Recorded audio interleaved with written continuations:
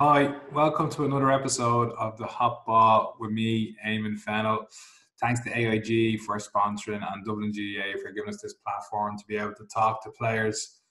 On this episode, we're going to be talking to Dublin footballer and hurler Shane Ryan about his time in the Dublin jersey, how he moved from hurling to football, back to hurling, very similar to Michael Jordan from basketball to baseball, back to basketball. So on this episode, we'll be talking to Dublin's very own MJ and going through some of his highlights. Hope you enjoy it. Well, Shane, welcome to the Hop Ball with me, Eamon Fennell, and AIG and Dublin GAA. On today's episode, I want to take a bit of a look back uh, down memory lane of your time with Dublin. Uh, your career as a cornerback, halfback, midfielder, hurler, your history in the family of being just from good GAA stock and you know towards the end of your career moving that transition between football and hurling. So I suppose I want to kick off with 2001 because everyone has fond memories of 2001 and for me that memory is going down on a, a bus from O'Toole's uh, stopping off having a few cans on the way getting into Thurles loads of crack going to watch the game and just having the best time ever. And I think for a lot, this was obviously the first game, it wasn't the replay.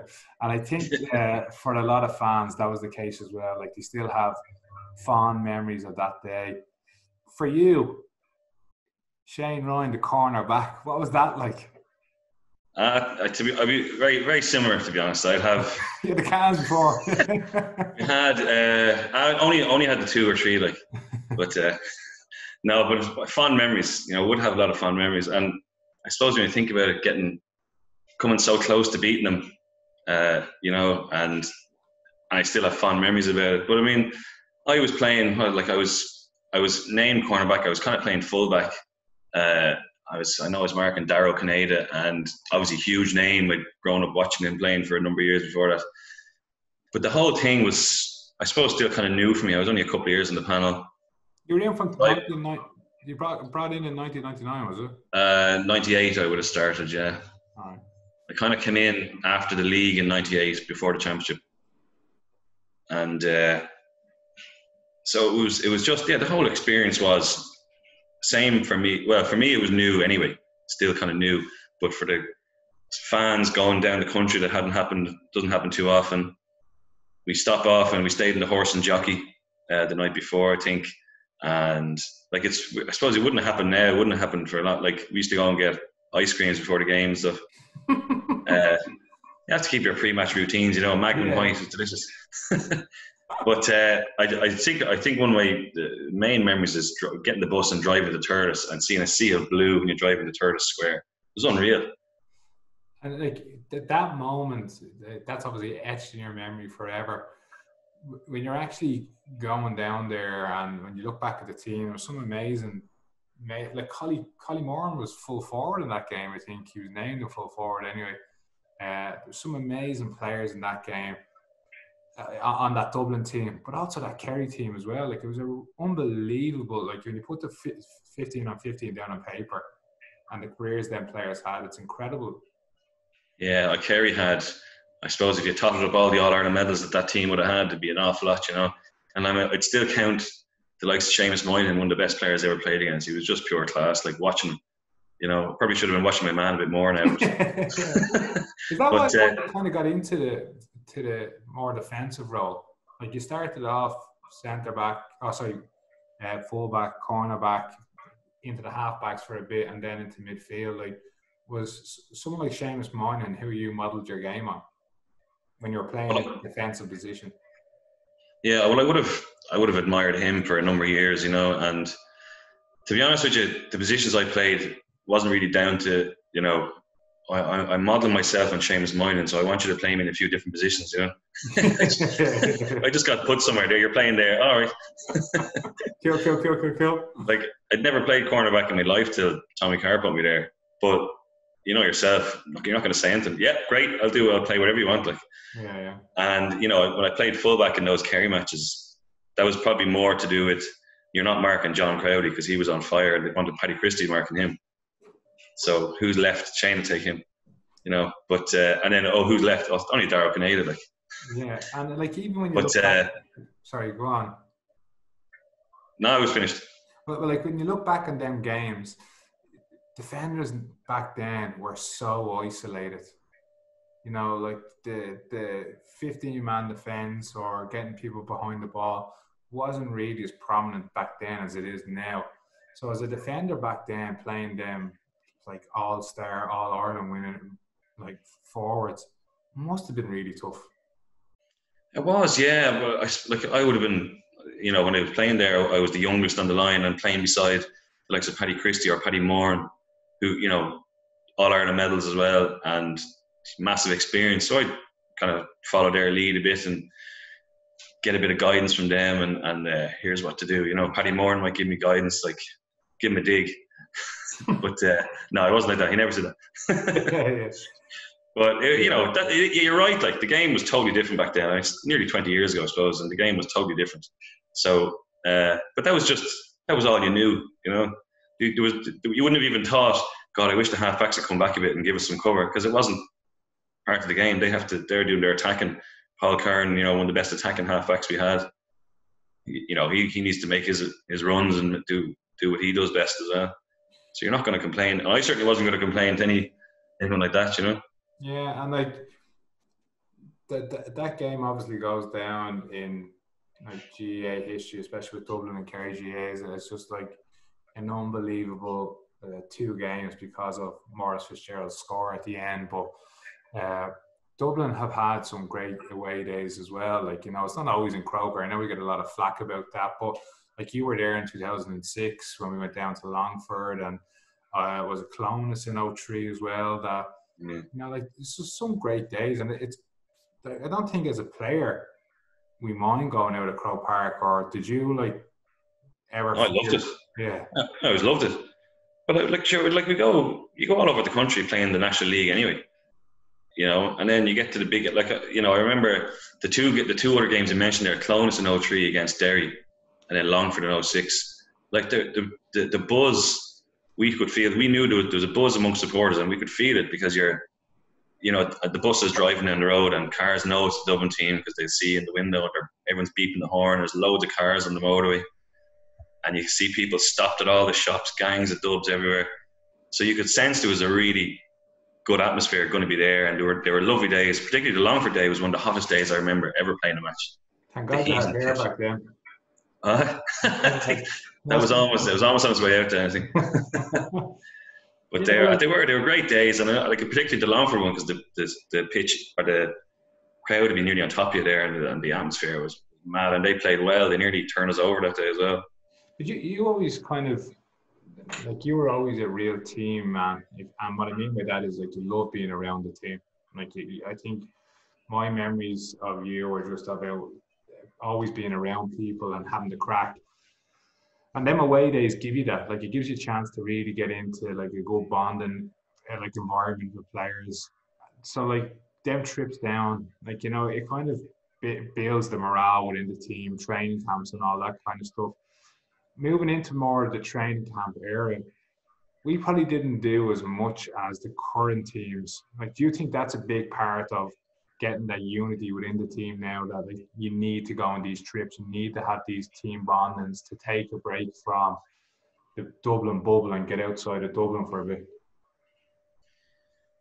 Yeah, I suppose that yeah, that would it would be a good thing. I mean, I I suppose when I was playing at you still even if we did it, we did it less back then, it would still be you'd still spend more time with the team than anyone else in your life, you know. Yeah, yeah. Unless you're unless you're married maybe, but I wasn't at the time, so you'd, you'd see the lads more often than anyone else, with the exception of maybe people you work with. But you're nearly seeing them every day, and you do you build up just you get to know each other well. The crack you have, you you know whatever you need to do. Sometimes you're away on, on weekends or whatever, and you have a bit of downtime, and you're could be playing cards or just having a mess, watching TV together, and it, all that adds up, you know. It, it, but you were probably in an area where like social media and camera phones weren't big back then, so it was great. God. Yeah. Especially for them Sunnybank days after the championship games. Oh. but like from if you put yourself in a Dublin player's shoes right now, and just to get a bit of perspective, like after game, you're being analysed. Like you go straight onto your phone. It's Twitter, it's Facebook, it's it's Instagram. You're looking at reports, you're seeing comments instantly. Like, would you like would you as a player who loved just being around the team and being around uh, that environment? Would you moving into this kind of area now? Would you hate to be in that area of just like social media and people being able to kind of judge your games right there and reading these comments and not being able to get away from the madness that is social media? Um, yeah, I don't know. I'd say I'd say probably the seven All Irelands I have in my pocket might uh, make it feel a bit better. That's just your profile picture, is it? uh, I no, I see. Yeah, I, I suppose because I, you know, I, I wasn't. What I'm getting at is, were you happy to be in that time where this wasn't as big as it is now? Like, well, I didn't know any different, to be honest.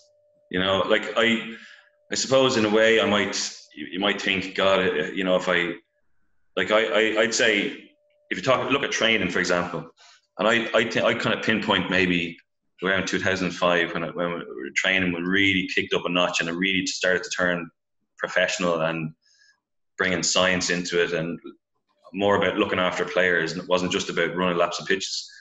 And, you know, by that stage I was 27. But if I'd, if I'd have started that when I was 19 or 20, you know, maybe I wouldn't have been like probably loads of people carrying all these niggles that you carry through your whole life. And, you know, some days when you can't even lift up your kids because your back is killing you. Like, but, you know, maybe your career might have lasted an extra couple of years if you had looked after yourself better.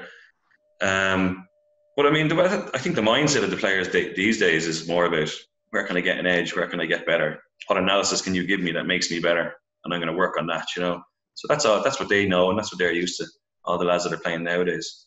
We just didn't have when I started. There was none of that.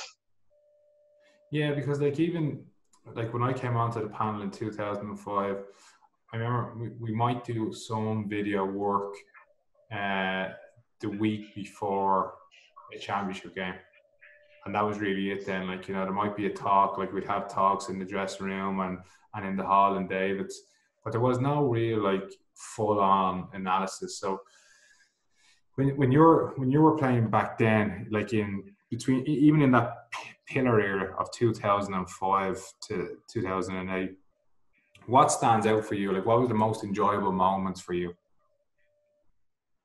Uh on the pitch off the pitch I, I, like I, like for me when I have some notes like you know 05 just winning the uh, the the Leinster Cup for the first time in a while like that was a highlight of Collie and Casey like they loved that moment more than anything. It was just uh, yeah definitely was. Well I there's you know there's loads. Where would I start? I mean I could start with that. Uh, like we'd had one in 2002 I remember saying to myself in 2001 uh, when we lost our third final in a row. And I was just thinking, if I could win one Leinster title, I'd retire happy, be great. Then we won in 2002, and suddenly that's not enough. We want to win again. Then we had two bad years. Well, we two one okay year and one bad year. Then and then you to win it again, you're like this. It was it was, it was fantastic, and uh, you're like what you said about the team. Like the crack with the team was just phenomenal. You know, like we, you know, the way I remember anyway, like well, I certainly did. We trained hard, uh, worked hard, did everything I was supposed to do, you know, on the pitch. And then after you win a big game like that, you have some celebrations were brilliant.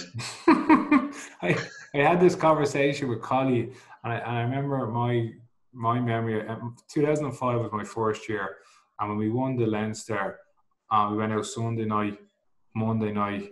I think Tuesday night you were there, uh, Wednesday night. When you say I was there, I was at training, yeah? Yeah, yeah, yeah, yeah, yeah. And, and then Wednesday we were out. I was half going training on Thursday. This was just me, like, you know, young lad coming through.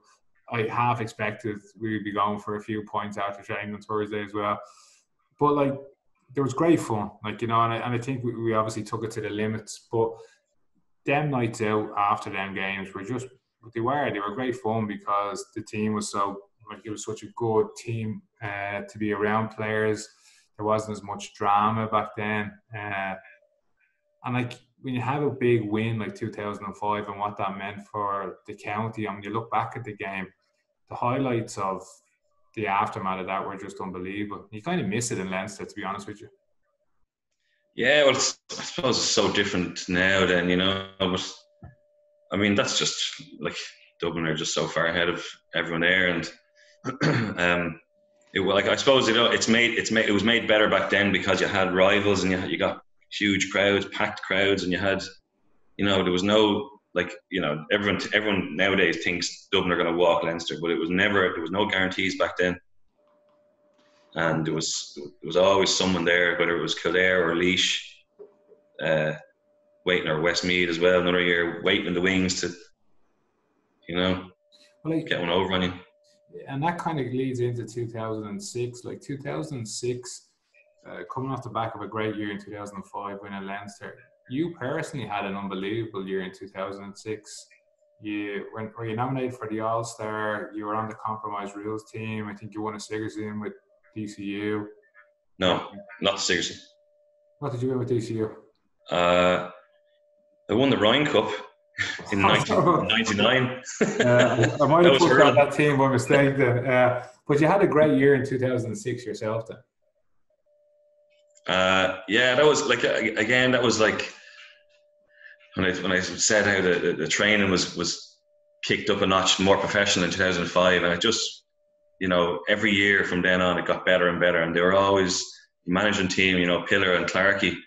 Uh, they were always looking for the extra angle. How can we make this better? And I just I loved going training. Absolutely loved going training. And I'd, I'd, be there early. You do your few weights before the session, and like I know it wasn't always like this, but I, my memories are driving into St David's and it's sunny, and you know everyone's happy and we're winning matches and train was brilliant.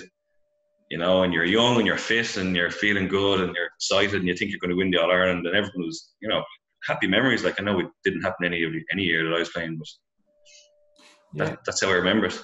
Well, like that, that's my kind of memories as well. But when you said like you enjoyed training, I, I have a fond memory of you, uh, like from that documentary that was shot in 2005, where you were doing running session and absolutely gassed on the ground, uh, lads trying to drag you up. So, you know, you didn't enjoy it as much as you say you did, but it, it was actually the mind blocked these things out.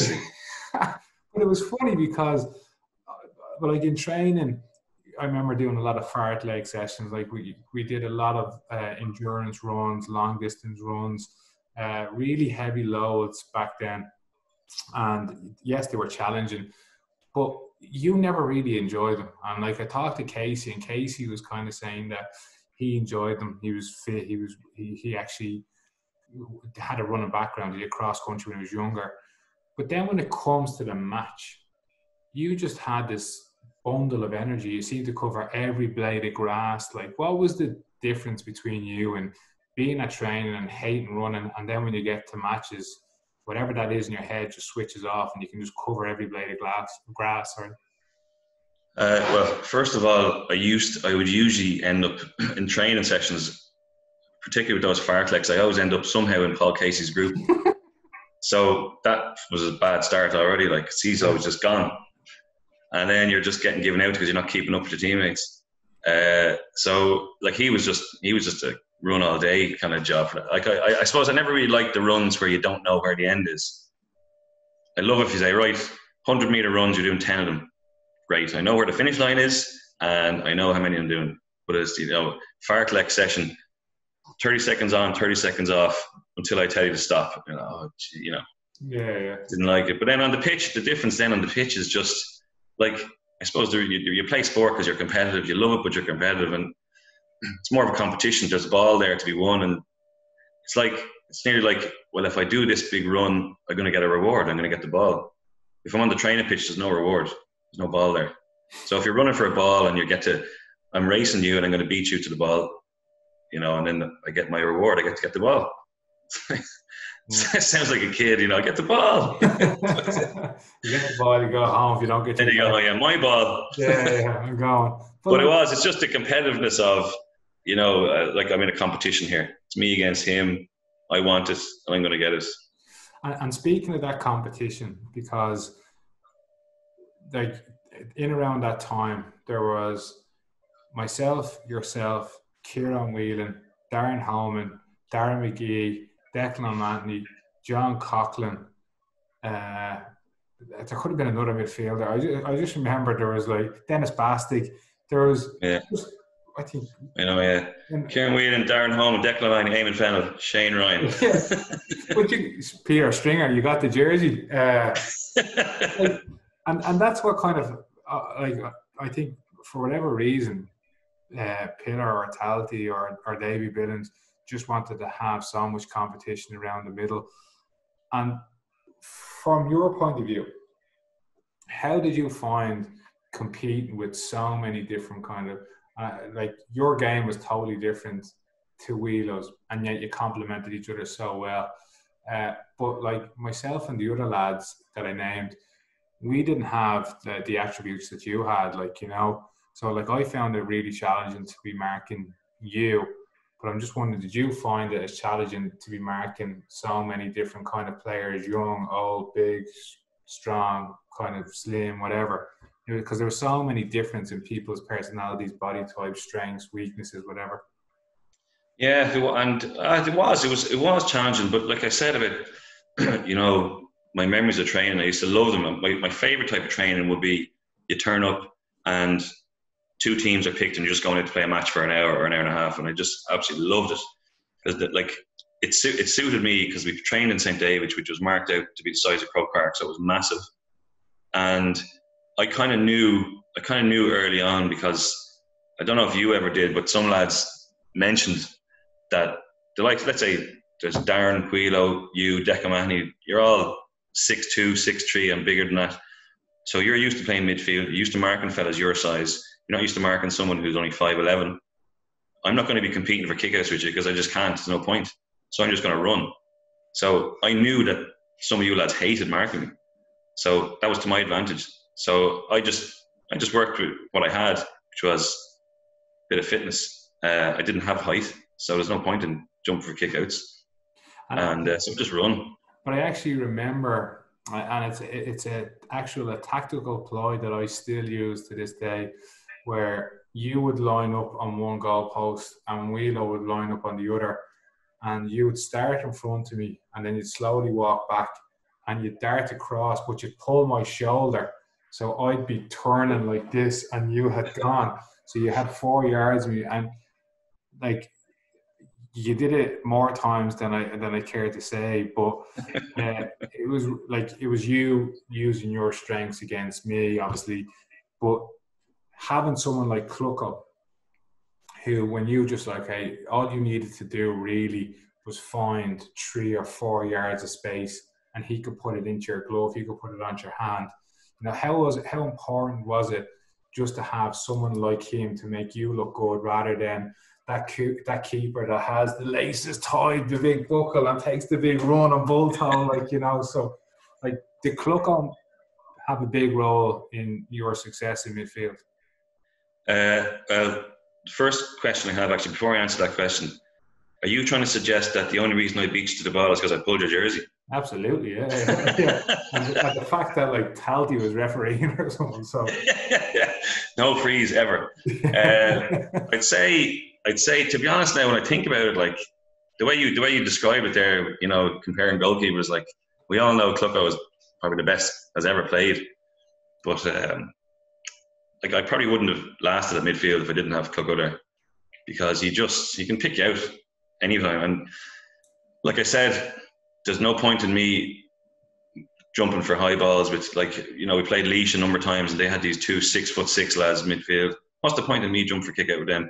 It's someone like Clucko there who could just pick you out like a radar and put the ball in your chest or bounce it right in front of you, you know.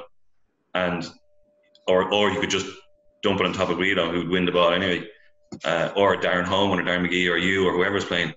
And like he, he did like everything that's been said about him in the last 20 years or you know is right. He's changed the way goalkeepers play.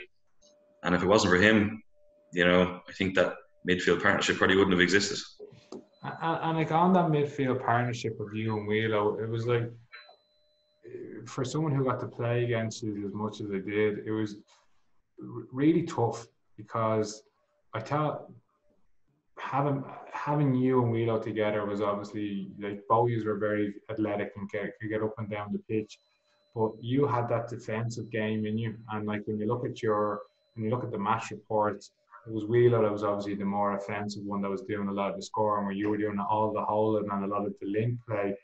Was that ever talked about, or was that just something that just kind of happened because you were a natural defender and he was just a natural kind of attacker, or did you actually kind of say, right, you need to you need to hold the middle a bit more so I can make this run forward, or if I'm going forward, you need to cover back. Did you just have them conversations, or was it just like autopilot? I'd say more more autopilot. I, I like Wheelo had been doing that for years. Like one of his trademarks is going on a 50 yard run and sticking it over the bar at full pace when no one can catch him. You know, like he was playing, he was doing that for maybe eight or nine years before I even started playing midfield. So you know, there's no. I'm not going to go in there and say, "Oh, hey, we love your new midfield partner. Can you just hold back a little bit so I can play a few, do a few runs there?" Like, you know, so like you're you're right. I, I did have more of a, at the back end as a defender there, and you know, I, I was never renowned as a scorer. Anyway, what's the point in me making these runs and trying to kick the ball over top speed, like you know, unless I'm ten yards out. I'm fisting it. Uh, but like you you had like when you look back at 2005 and to, up to 2008 you had an unbelievable time in midfield and, and the partnership as i said was really strong and it was hard to even break into and i don't think teams fully knew how to mark you and, and resulted in you getting the all-star in 2008 i know people like kind of play down the personal accolades but how important was it for you and how much did it mean to you to actually win that all-star um, I was very yeah. I mean, I, I suppose as time, yeah, I loved it. Like obviously, I loved it. It was it was great. I mean, I know, I know. Uh, my my dad in particular would have been very happy with it and all that, and be proud of it and, and, that. Um, obviously, it's no substitute for if you're able to win All Ireland. It's I'd imagine, but it was. I suppose as time has gone on, I kind of think you think and you you see how all stars get picked every year, and you, you think, was I was I that good that year, or was that because was that a sympathy one? Was that because you know you played a few good games a couple of years before that and you didn't get one, and maybe they're feeling a bit guilty? You know, I, I wouldn't really say it's because you were amazing in 2008. You know, I think other factors might come into play. That's just where my brain goes a little bit. You know, like it was great. It was nice to have. It's lovely to look back on you know. But like when you asked me there earlier, what was your what was my highlight from that era when Peter was manager? I actually honestly didn't even think of it. You know, I was thinking of winning Leinsters or having the crack in training or having the crack for the couple days after matches that we, you know. So it, you know, it's it's not something I would come to my head first and foremost if you ask me what's the best thing you ever did. Yeah, but it, it, it's interesting because your family is like steep in good GAA stock and history, like your dad, your mom, your grandfather, like all big stalwarts of, of the GAA. Like so to have an accolade like that. It, and, and, and, me personally, I do think it was well deserved. Like, you know, I thought you had an unbelievable year in 2008 and it should be meaningful. It should be something that you're kind of, you're proud of because in that time there was a golden era of midfielders as well. Like, you know, the midfielders that were coming through, the likes of Sean Cavanagh, like it was was tough to try and get it that back then as well. And for me, I, I started to see, you know, people talk about Clucko and how he changed the game for goalkeepers, but I thought you like the likes of yourself and the likes of Sean Cavanagh actually changed the role of the midfielder as well, where now you look at the likes of James McCarthy coming in for Dublin and how important that is to have someone that's able to cover that ground and have the link with Brian Fenton. So, like, do do you kind of see that working now in in the modern game where you see lads kind of complementing one another and players are picking positions to to bring like if you have the Dublin half back line having someone like Jack on the wing and Johnny Small on one wing and James in the centre. Like you have people that can just get up and down, and you have the physicality with Jack and James as well. Do you think it's important just to get them matches right for like from a Dublin point of view, or from a if you're if you're Mark, if you're setting out a game against Kerry, you know you have to have the players beside you to complement one another the way you and Wheelo had that relationship. I'd say these days a lot more would go into that kind of thinking than would have happened when I was playing. There probably was a bit of that, you know, 10, 15 years ago, but I'd say it goes into a bit more forensic type detail nowadays where you are, you know, like from what I've seen with, with, uh, as when Jim Gavin as manager in particular, he goes into such detail and he has such a wealth of talent at his, disposal. You know, you could have, you could have two or three players who are just as good as each other in a position. So you're going to pick well who who's best suited to this particular game, or who plays best beside James McCarthy, or who plays best beside Jack McCaffrey, or whoever it is. So I would like you know haven't haven't been around the, the team in when it, during the, that big success of the last you know nine years. So I can't really speak for uh, what they actually do, that's what it, that's what it looks like. Yeah, well, uh, like from from your from your days of playing in that role, did you always find you gravitated more towards a certain type of player? Like, did you when you were on in the defensive line, did you kind of say, right, look, I need to be playing with the likes of Collymore and or Paul Griffin because their game they'll they'll hold a lot more, so I can do a lot more running. Did you find players that kind of brought out the best in you? I, I think yeah. Now that you mention it, I would have. Um, we would have had. I think it kind of. It didn't really get spoken about, but you kind of naturally come to an understanding. But like I'm sure, like all teams do, the longer you play with each other, you know, like um, if I was playing midfield and I'd come short for kickouts a lot, and then you'd have like Paul Casey and David Henry on one wing. I know, I always knew if I win the ball here, uh, Casey's going to be running off my shoulder or if I'm even shorter, David Henry's going to be running. So you, you always have that natural understanding, and they would know that I'm going to give it to them if they're running past me. And you're right, you would, because I, you know, that would have been probably when I was playing, it would have been my favorite side, favorite side to run to my left. But let's say Clucko's right because he's left-footed.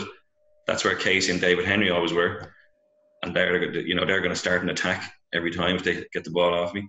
Uh, different, yeah, different. It would have worked different ways around a pitch like that as well. Like you know, it's mad that you like you kind of with Wheelo, you never really talk about it; just automatically happened. With the the likes of Casey and Heno again, it's probably never really discussed, but yeah, it happened and it just worked out for you because the current team and, and a lot of successful teams now they'll overplay the situation so it becomes so robotic you're building that muscle memory where when it when it happens on the pitch, you've talked about it so much, you've gone through it so much, repetition, repetition, that it just becomes autopilot. But you just kind of seem to naturally have that. Yeah, it's uh, yeah, it, it did. Yeah, it's it just came from playing playing with each other for so long and playing to our strengths. You know, like Casey, as you said, was fit as a fiddle. He could run up and down all day long. Heno was a cornerback, but he was a fantastic attacking cornerback, you know, and like the odd time you get Paddy Christie would be stuck on the edge of the square for, you know, 69 minutes and then he'd just do a 100 yard sprint at some stage and he'd be gone and no one could catch him because he's so fast. And you kind of, you, you knew these would happen because it happened in training. It was never kind of played out as here's the tactic, right? Here's what we're going to happen. For a point down, we're going to kick it over here to Shane or kick it there to Wheelo. That was never really spoken about. Um, but that was, a lot of, a lot of about Pillar, I think, is he he trusted players to, you know, he trusted that players are going to make the right decision at the time that they chose they chose or they saw fit. And he was, you know, I like he was very much a, a player's manager, and I thought he was a great man manager. You know, because I, I loved, uh, I loved, uh, you know, my I have loads of fond memories, and I've only mostly apart from horrible defeats. Uh, good. I want to I want to touch on them. So those little things yeah, because like if you look back in, on, on your two big games for you in your last two years with the footballers, in Dublin versus Tyrone in 2008, like we scored 1 8, Tyrone scored 3 14. Dublin against Kerry in 09, we scored 1 7, they scored 124. So you know, that kind of leads me to believe that although we didn't probably talk about it enough as a team, they definitely did. Like they definitely knew what works for them and what, what how to really capitalize on our weaknesses and the Owen Mulligan goal like still haunts me every time I see him. Like, oh, we, we should have just hit him. We should have just stopped him. Uh, but like, when you're looking at them games and, and when I'm telling you them scores, what do you think was the big obstacle for us not scoring enough? And what was the big obstacle for us conceding as much as we did? Um, that's an excellent question. If I knew that now,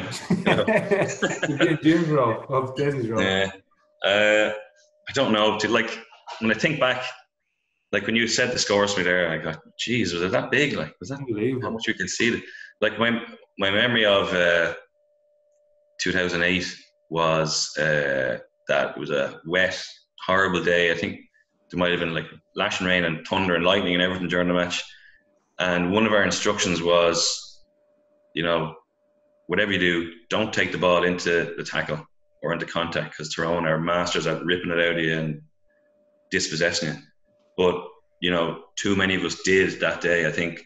And Tyrone had their tactics right. And we just, it wasn't that our tactics were wrong. We just didn't, I think, follow them to the letter. Um, and then, of course, when you're when you go behind, you're chasing the game, and the weather is crap it's very difficult to get back into it and we panic. That was 2008 anyway. You know, you just you're nearly fighting against the tide here. This is nothing seems to be working. Um, and Tyrone would just Tyrone had so many quality players. They just increased their lead.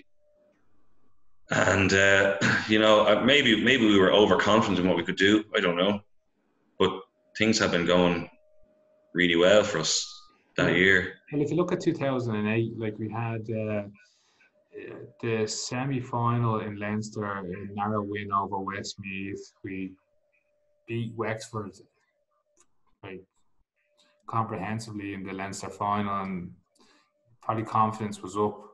Then, like that scoreline just kind of says it all. Like you know about we, we were kind of exposed. We were, we had a game plan that didn't work out, and then as you said, when you go behind to a team like Tyrone, it's uh, it's hard to crawl it back, and then when the conditions were as bad as they were, it's even harder.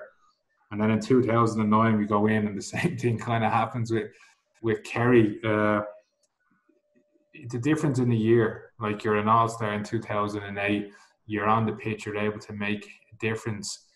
2009, you come in when the game's more or less over. Like, you know, did you know that was going to be your last year with the Dublin footballers, or were you just uh, no, I didn't know. I to be honest, I'd always we'd always used to have kind of chats about it, mostly messing with. I talked to Mossy, David Henry, and Keaney, and that, and say, you know, we must go back hurling. We'd have to go back hurling. You know, we said we would do it next year. Oh yeah, next year. Yeah, we'd always joke about it. But you know, like when things were going so well, I always wanted to do it, uh, but I never actually seriously considered it. You know, until I suppose after 2009 season. Uh, I mean, I 2009, you know, again, like it was a new, it was a new setup. Pat Gilroy was in. There's a few new players in the scene, you know, like Ger Brennan was coming in, and and and Diarmuid Connolly was making bigger impact, and uh, you were there, and um, like you know, fresh faces and all that kind of stuff, and a fresh kind of approach to it, and uh, like I, I love training as well. I love going as the year went on. When you got to the summer, I thought the crack was fantastic. The atmosphere was good at training. Uh, it was tough, but I enjoyed it. And you know, we won. We won Leinster. It wasn't. It wasn't easily won. It was a hard one. I think we beat Kildare in the final, and confidence was high. I'm like I, I, I really remember having really enjoying training from the Leinster final to the Kerry match, and I was very confident. I wasn't. I didn't think we were. I didn't think I was overconfident. I didn't think I was cocky. Uh, I didn't think the team was. I thought we were well prepared for it. And I was. I was looking at it from the point of view that because I I didn't start any match that year, and I thought I'm only coming into my prime fitness now this season, and we're going to beat Kerry now, and I'm going to be in a great position to get get my spot back for the semi final and final. I was sure we were we were the team was going places until obviously Gooch scored after about two minutes or whatever it was. And when you look back at that team, like we spoke about you being uh, in cornerback against Kerry in 01. Like Paddy Andrews was cornerback against Kerry in 09, and now like he's a five-time or six-time, I don't know how many all Irelands he's won a corner forward. Like you know, so when you look back on 2009 and the team, it was probably still just trying to find its shape. Like Bassey was full back as well. Like you know, I think we were the team back then was just still evolving. You know, as you said, there was a lot of new faces coming in. People were just trying to find their rhythms and routines of playing with one another and trying to see where people. And this gets back to my point earlier on about players being paired up against one another to make them look better. So you know, like other players complement players really well, and that's kind of where I think the Dublin team are at now. Is they found the matches on a line that really work for them and brings out the best of each other. But you've mentioned a few names there that I just wanted to talk to. The likes of Keaney, Heno, uh, you said Mossy as a hurler, I'll, I'll question that one. But uh, like even Dermo and, and Ciarán Kilkenny, do you, when did you think the dual star died? Like, because you were a dual star when you first came on. I think what was it, 02 or 2004, maybe when you stopped playing the hurlers, was it or not? Uh, I, I didn't honestly. Actually, I I played '99 and I played a bit. I played like the league in 2000, and it played. I didn't play much after that until uh, until I got the call from Daly. But because um, I like it was what happened was I played in '99 and um, played both. And you know, it required cooperation from both managers, etc., etc. Training was a lot different back then. It wasn't really like scientifically uh, laid out, and uh, there was you know weights wasn't really a thing. You know, it wasn't at all actually, except maybe during winter. There was nothing during the summer, so it was just trying to balance your time between the two teams. Um, 2000, what happened was they changed the Leinster Championship and they put Dublin into a round robin. So Dublin had four championship matches in the hurling, sorry. And uh, the manager wanted me, he said, here's the deal. You play for one week before each match, which, which worked out as in five weeks, I was four weeks with the hurlers and one week with the footballers. And, uh, you know, I, I just after the National League, and I said, that's just not feasible. Um, you know, that's, I can't do that. Like, because then I might as well just say goodbye to the football, get my place there. So it just I just wasn't work, wasn't able to work it out. So, um, but but like but that was the end of it for me, pretty much. And and it kind of like I think Keaney is the last one who can really think of that was able to do a bow at a high level for Dublin now.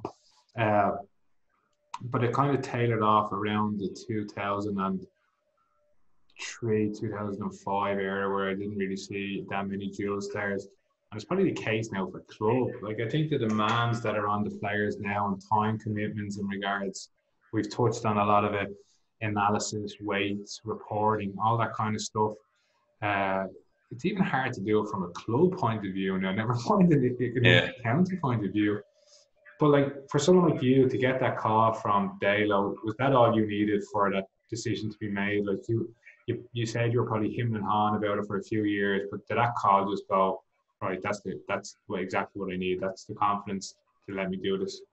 Uh, it was it was it was what turned turned it for me anyway. I'd say, but I mean, like he rang me. He, I don't even know. He rang me maybe more in hope than anything else, and he was only ringing me based on a reputation I had from ten years earlier, probably. you know, as the reality was a lot different as he found out. But uh, you know, it was Dublin had had a really positive year with the hurlers the year before, and Dalo was coming in, and it was all there was a buzz, there was an atmosphere, there was a lot of potential in the team. And then when he rang me, I still I agonized over it for a long time. You know, I like I rang loads of people. Like I was I had long chats with my dad about what should I do. Like I rang, I, I remember ringing Ski Wade about it and ringing different. Like, what's your advice? What do you think? And uh, I wrote out lists of pros and cons for both sides. I've never agonized over a decision more in my life. You know, I eventually just, it eventually came down to if I don't try this, I'm going to regret it forever. Just to try, just to, like, I knew what I might be giving up. I knew I might be giving up the chance to win All Ireland, but on the other side, I thought, look, I'm gaining the chance to do something that hurling was my first love when I was a kid, you know, because I was used as a football when I was a kid. and uh, and uh, I said, I have to, I just have to try it. I have to try. If it doesn't work out, at least I can say I tried, you know. And like it worked out to that's medium success, I suppose. But but like to to try it is one thing, but to actually and I look at I'm watching that Michael Jordan documentary at the moment, The Last Dance. And when he came back from baseball, and yes, I'm comparing you to Michael Jordan from. Uh, Rightly so. Yeah. so you're going back to. Is that because of the, this? Absolutely, because of that, yeah. And uh, just about how you spoke to players as well, the same way MJ did. But yeah. if when, when he was coming back again, not comparing again him, but coming back into sport, he said he spent so long building his body for uh, basketball, then he had to change it to baseball. And then when he came back to, to play basketball, he thought he was in a position to be able to play but his body wasn't, and it kind of fatigued him in the in the playoffs. When you went playing hurling, did you just find it totally different. Like you were probably a bit top heavy after doing so much weights with Dublin. Did you have to trim that down?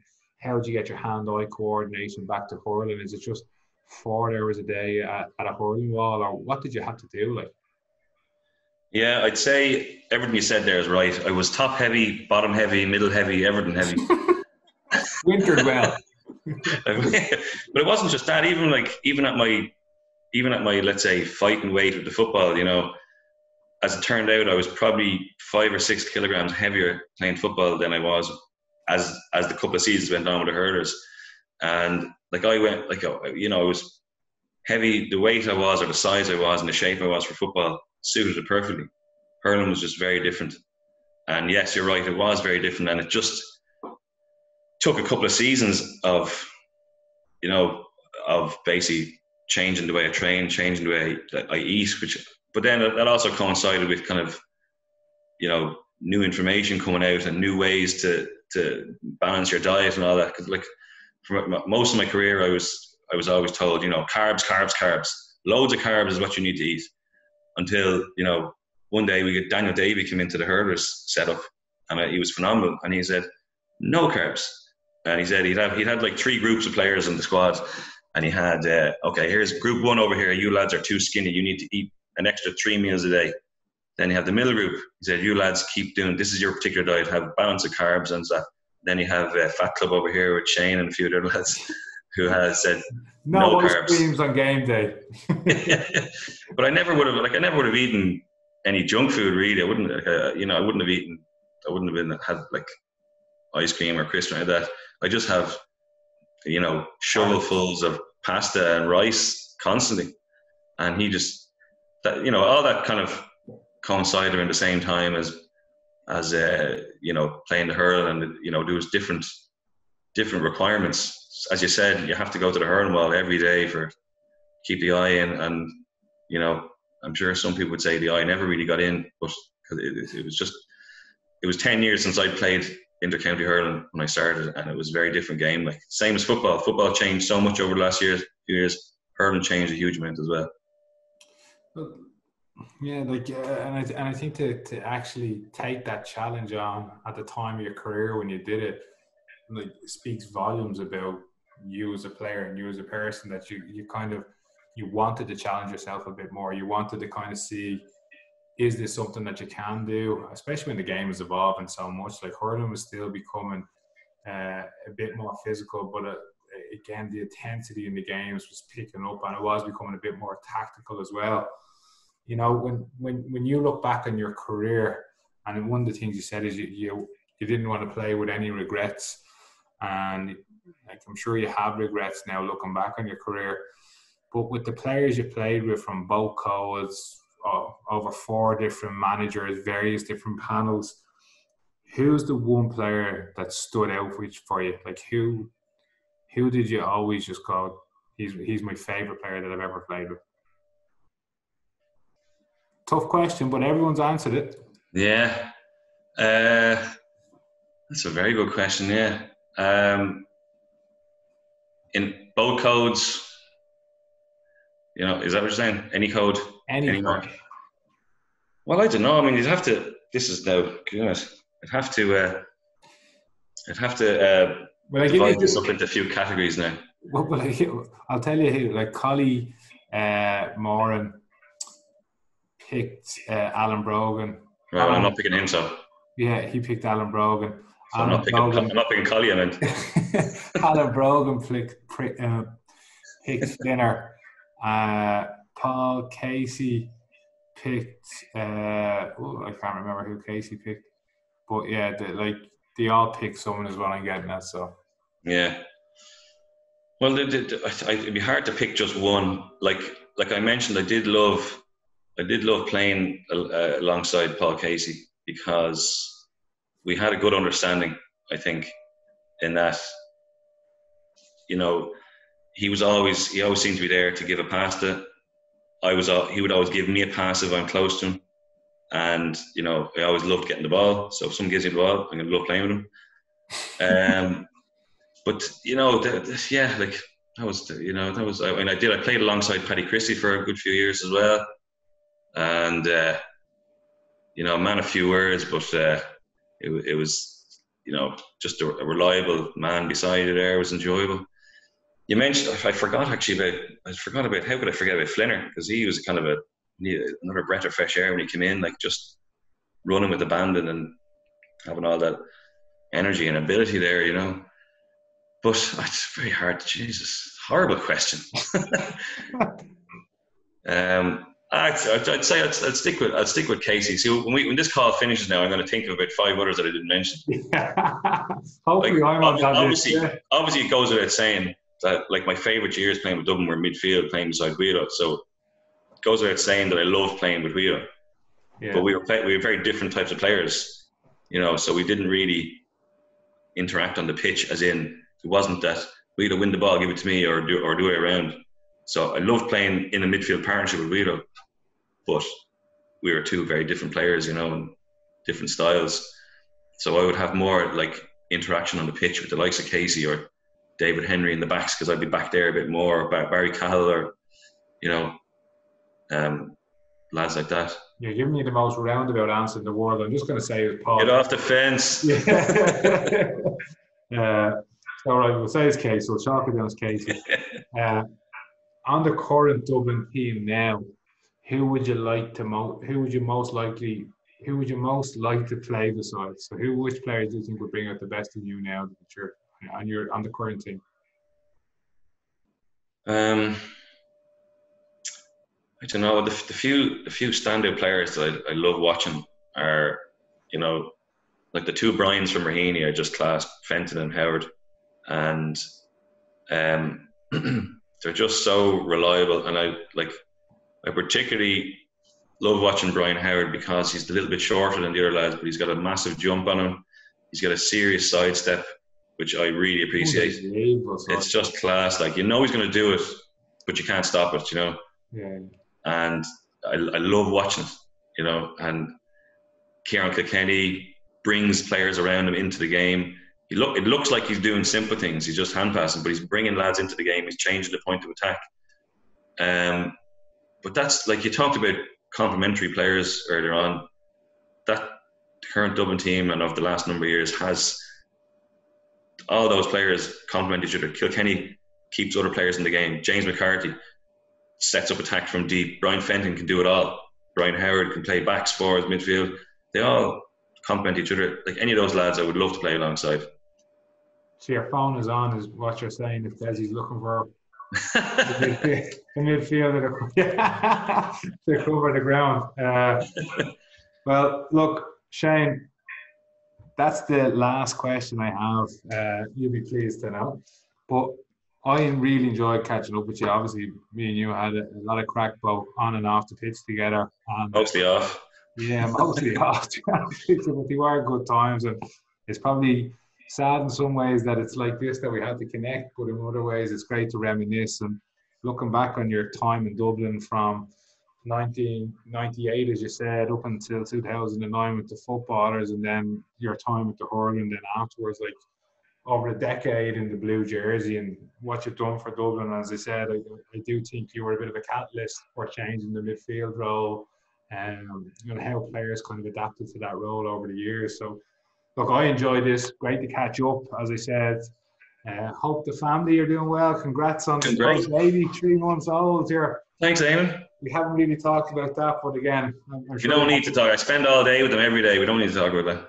Okay, fair enough. Look, I loved catching up with you as well, Eamon. Uh, it was great. Great to talk to you now. Yeah. And uh, yeah, just I'll give you the final word, but it was, you know, you you were one of the main factors in having all the crack I had. It was great. Like to be able to have a laugh when you're suffering on the pitch is always important. I think you know. No, absolutely, and like you kind of mentioned something about like the All Star uh, didn't mean as much to you when you were looking back on your memories, and like I, I look back on that trip that me, you, and Clucko went on. Uh, uh, like it's one of my standout moments of my time because it is the journey, you know, like it is that moment yeah. and then trips away to Thurles to Clones to Longford to Amsterdam that we went on as well. So like Stock, yeah. Stockholm as well. Yeah, Stockholm as well, and I think that holiday still hasn't been beaten. I think there's a few other stops on that trip as well. But before we get into the the finer details of that, I just want to say, look, thanks for this again, and I uh, hope you've enjoyed listening to it and watching it. Cheers. Thanks, Eamon.